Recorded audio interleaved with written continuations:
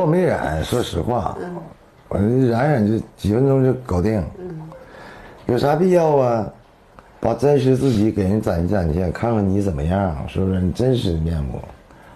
我染你说小伙了，变成完了又又小小十岁，满脸沧桑，又装装装那啥？没有，那要沧桑，那玻尿酸不白抹了吗？我那就无所谓，我不是像人是天天抹。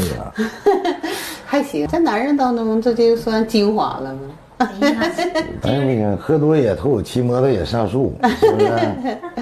男的一百个里也挑不出来一个就是保养不了了这这已经都都完了。但是姐姐真这玩意儿没有纹儿哈，对不对？人家总保养好啊。嗯，没有错，没那你心没。那你说我俩差一岁，能差相差一岁吗？这边大叔级，你人那边是不是？可别人你那啥了，太夸张了，说的。感觉电视里那个比他本人要年轻个几岁，嗯，嗯，见了之后觉得稍稍有点老。还行。那同龄人男的六十多岁了，那能啥呀？这就算保养的不错了。嗯，长相行啊，人咋的呀？比我长得好，我这满满脸褶子，你看人多年轻。见到真人后，吴大姐虽觉得马大哥因为没染头发，略显比电视上老了一点，但也比同龄的男士要年轻，好感度依旧啊。而马大哥这边呢，对吴大姐的评价就是挺好的，长得呀比自己年轻。随后，吴大姐主动向马大哥介绍起了自己的情况。我是铁路退休的，零零九年退的，铁路哪个段的？房产段。啊，嗯，挺好。然后那个两个儿子都成家了。俩人挺衬的。嗯，我这些年自己带着孩子，给两个孩子成家，然后他们工作到这种程度，这是就他俩的工作，我这两个孩子都没上大学，能给他安排这样的工作。老大是公务员编，现在，嗯，是不是？我也是很骄傲。。儿子什么单位啊？嗯，大的在省人保局，小的在一汽。我俩儿子这这这财富啊，现在完了，我爱人是病故的丧偶，啊，嗯，零七年、零五年就确诊直肠癌，然后两年以后又结肠癌，最后转移到骨癌，总共是十二年这个病程，零七年没的，零七年二月份没的，然后这些年带着俩孩子，完了小不点儿是今年一月二号结的婚，你是俩人都给培培养出去了，一个女人培养俩人，那个容易吗？再说还不容易，在原来的丈夫还有病啊。十二年病了啊，对你，咱就相当于一个女人照顾三个男人。这人咱挺佩服人家的。对于吴大姐一个人把俩孩子拉扯大，再帮俩孩子成家立业的事儿啊，马大哥听后直竖起大拇指，表示佩服。而接下来，吴大姐说，现在自己还在继续做着保险行业时，这马大哥更是感叹：女强人呐！反正因为那天我也挺担心的，我跟小菊说，我说你先跟那个马先生打下招呼，因为好多人就我们这代人，就咱们这个五九的那啥，人接受不了这个行业。完了，我说如果他要是能接受我这个工作，我就跟他俩见面；要是不接受，那就不见。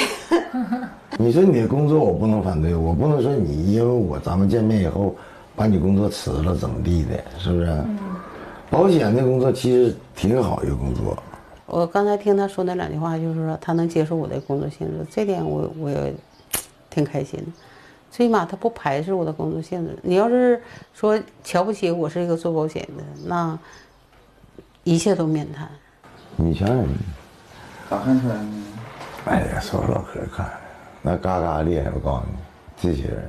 之前吴大姐最担心的就是马大哥接受不了自己现在的工作性质。听马大哥说能接受，这吴大姐心里的一块石头算是放下了。随即，俩人开始了生活习惯方面的交流。看这样好像能喝酒，能喝，酒能喝，一高兴一猛整一斤没事儿。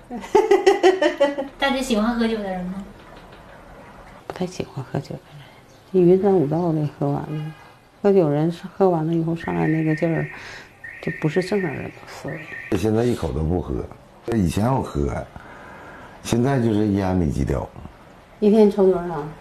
一天咋的也得一盒半盒的。大姐也不喜欢抽烟呢。肯定的，我就就知道他不喜欢喝酒，他能喜欢抽烟呢？你说，我我怕闻烟味儿。我也知道抽烟不好，但改不了。咱就说，我就这个就剩这么点喜好了，没有别的了。有些东西，生活习惯你就得彼此想在一起，你就得相互接受。你不能说按部就班，走按你那个生活习惯，强迫人别人接受。我们这个年龄段了，你要是想谁想改变谁，那就是战争。你说我说的是不是？处处看看吧，这玩意儿有些东西不是说的，你刚一见面你什么都达到你那啥，了解了解呗。我这人不是说的谁都行，我肯定也是要挑一挑的。所以说，他各方面我觉得还可以。欣赏你在哪儿，知道吧？第一，你的身高啥都够，也都是我希望的那个。第二，就是两个儿子，嗯，对不对？你能给培养出这么优秀，就是我觉得这个女人都非常很强的，自己工作还一摊儿。但是我说一条啊，说一条从我自己想，在我这嘎有什么理念呢？就是铁匠打铁，自身硬。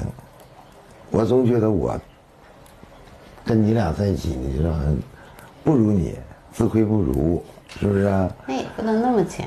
不是，不是说，那你看，我要是如果说我我这人也很强硬的，如果说我各方面条件我都那么优秀，那我就可以直接指挥你来吧，就你了，我就敢说这个。但咱确实毛病还有很多，对不对？有的是比我优秀的，就是你看着说身高，看着眼缘啥的，那只是外表。如果你要是觉得说的我方方面面或者怎么地，像你说的那样，呃，因为这个事儿，然后那个不想处，那也行，还是咱俩缘分没到，反正你随意。人说的非常在理，非常到位。我总考虑就是啥呢？找人家差点啥？因为啥？我跟你在一起吧，我总觉得有无形的不舒服压力嗯真的。不舒服，那行就是行，不行就不行。真的，我跟你说这是有压力，对我就说啥呢？不得劲儿。回来的路上啊，马大哥跟我们的红娘说，吴大姐确实很优秀，不过他也看出来了，吴大姐是他驾驭不了的那种强势的女人，他呢还是喜欢相对娇小、温柔、居家的女人。而在喜欢马大哥的这些大姐当中啊，还真有这么一位。巧的是，这位大姐也曾经上过我们的节目，而且大姐说了，自从在电视上看到马大哥之后啊，马大哥就会经常走进大姐的梦里。大姐，等着急了吧？刘玉杰，六十一岁，退休金两千元，丧偶，跟儿子儿媳同住。这楼底下有你养的流浪猫啥的吗？啊，有我喂饭的那地儿，啊，在哪儿啊？就在这儿呢，就是那铁桶，有多少只猫啊？有七八只吧，就弄这么一个，嗯弄这么一个桶，然后它下雨还浇不到。之前节目中，刘大姐说啊，自己喂养过流浪猫的事儿。今天现场我们就看到了刘大姐喂养流浪猫的地方。猫粮，就是一买就是买个五袋，能吃几个月，两三个月吧。那你一年然后到夏天我就不咋给粮了，就粮总放一些。嗯但是那个平时吧，我就天天给他和饭了，比方馒头、大饼子、米饭，然后给他买点鸡肝啊。家里有什么好东西，那天我还给他煮几鸡蛋，我说他们总吃不着鸡蛋啊，哎呀，敢照顾自己的孩子但了，它不吃是是，你 吃煎黄。嗯，那你一年就是基本上就是喂流浪猫得花多少钱啊？反正一次就是买一百块钱的吧，猫粮能吃两个月吧。我喂了十二年了，十二，哎，那算算这笔账，看啊，那个几千块钱吧，几千块钱。五六块钱，五千。十二年如一日的自费喂养着楼下的流浪猫，这足以看出刘大姐的善良啊！刘大姐说自己现在跟儿子儿媳一起住，上次录节目，因为儿子儿媳都放假在家，怕不方便，所以啊就没邀请红娘到家。这次儿子儿媳都上班去了，不怕不方便了。哎呀，我看看你的小家，啊，好干净，怎么觉得什么都没有的感觉呢？就这么板正呢？总这样，啊，必须得这样事儿了，哦，真的到你家就就是就特别静，不安静乱，是不是啊？对对对对对嗯，我也我也不喜欢家里堆的好多好多好乱，那我就不行了，嗯受不了。哎呦，我我你都不知道我有洁癖，是吗？太那啥了，就太有太完美，我都觉得很累。我这样，你怎么个洁癖法啊？就是什么都得板板正正、利利索索的。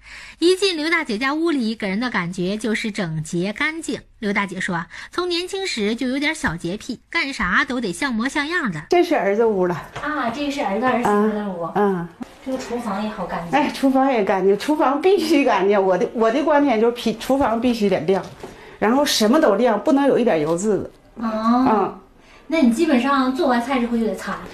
没就是做完随手就擦，不沾。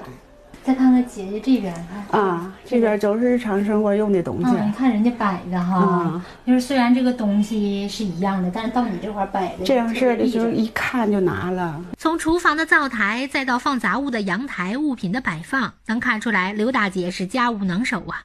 刘大姐说：“女人嘛，做家务那是分内之事，必须要做好。我才看着姐姐这还有百合花啊，啊，这是前天吧？嗯，前天儿媳妇买的，她是经常给我买花，就是家里差不多没了的时候，她就给你买，就喜欢百合，常年不断。常年这儿不断。你没看那墙都都那啥呢，都都蹭黄了。人说爱百合花的女人都是温柔体贴又有点内敛含蓄的女人。红娘多少感觉出来，刘大姐具有这些个气质。姐姐平时的性格有一种小公主的感觉，有没有？以前有，现在没了。嗯，以前真是，现在没人宠我了。也是以前你老公没少宠你呀。他也是非常非常非常优秀的人，他就就怎么说？为什么说我说我要再找的话，一般人进进不了我的心。他是建工集团呃开发公司的，也是一个副经理，长相、工作，这个办事能力。所以说我完了，家人都说别比了，找不着那样。外边是啥？我那人就是上班，上班回家以后做饭，啊，做饭以后完了孩子接送上学什么的，然后收拾屋子，嗯，其他外面的事都不用你管。外边事什么都不管。在刘大姐的眼里，丈夫就是她的天。可有一天，她的天却塌了。出了一宿，一直打着降压药，降的挺好，降到一百七，后半夜三点，早上六点他还跟我说话呢，问我几点了。我说咱再坚持俩小时，八点以后医生上班了，咱们再赶紧系统的检查。点点头，七点钟，我都不知道就就走了，我就在跟前，我都不知道他咽气了。最后儿他没有，就是心梗了，没有脑出血，心梗了。然后我就后悔到哪儿？我说这这哪管你有病吧，你脑血栓也行啊，啥都行，你给我给我给我几个月，或者给我一年半载时间，我伺候伺候你。然后给我伺候够了啊！你走了，我也是我伺候到了，太时间太太太那啥了。刘大姐遗憾老公没给她留下一句话，更遗憾老公没给她照顾的机会。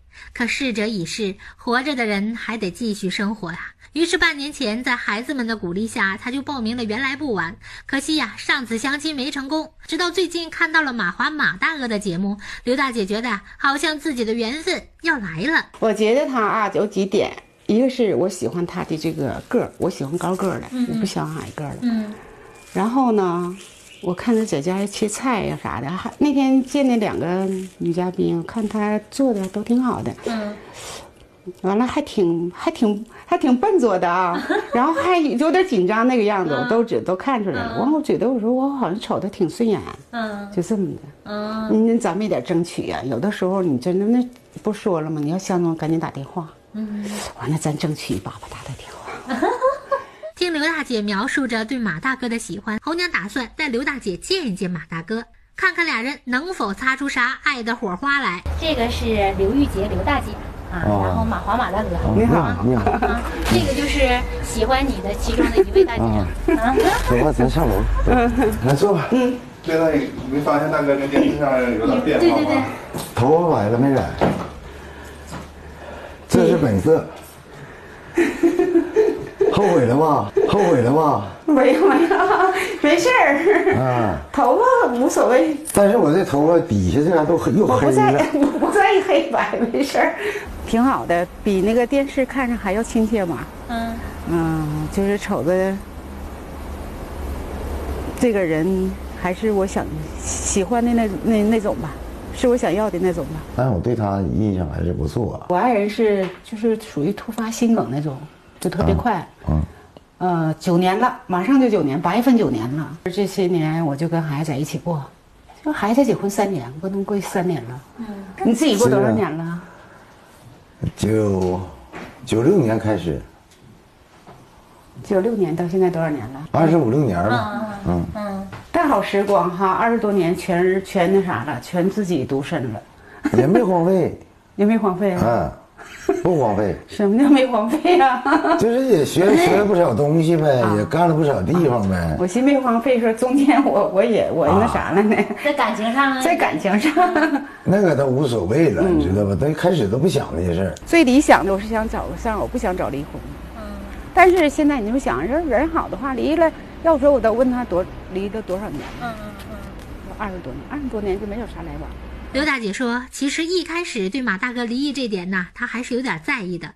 但随着接触到马大哥后，她对马大哥的好感度已经大过了这些个小问题。收收收养多少流浪猫啊？我没有收养，就是在楼下，就在小区，完了然后在我家楼下，反正这么多年，我跟你说十二年了哈，十二年，就是我每天都给他们送粮，嗯，就天天的，一天不落的，每天就给他跟我一样送一盒，你也送啊？喜欢动物，喜欢猫，喜欢狗，但是我不哎呦我去养，哎呦但是我不养，嗯，我不养。我也是啊，楼下我也那个喜欢，对我们家楼下那个有一个，他家小猫，我总没买杆儿，啊你想买点杆儿给吃，买杆儿吃，我一张一晃嘛，离老远嗖就跑了。那这一点还是有共同的哈，就这个，就是说，人说有有那么个说法，说人就是喜欢小动物的人都是比较善良的人。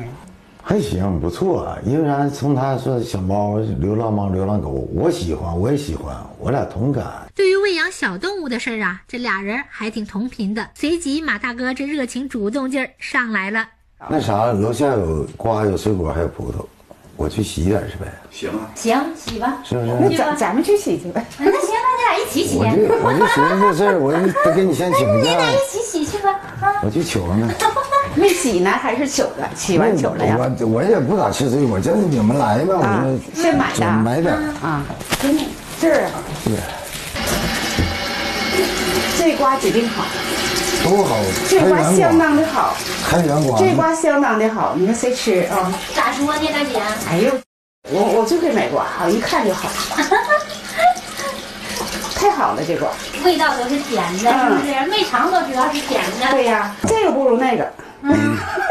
哎呦，大姐，你这是挺有生活常识啊。我吧，我最我最会买那个香瓜和木耳、啊蘑菇，但是呢，不会买口红，嗯，整不明白。我可以帮你介绍，我可以帮你介绍。你会买口口红？红啊，玻尿酸啥的，不是口红对这些化妆品我还有点玻尿。酸我都不带手的。你给大姐讲讲。可以，我可以找朋友帮你买一个。旁边站着，一个男人，这是一家人在这洗洗水果啊，做饭呢、没有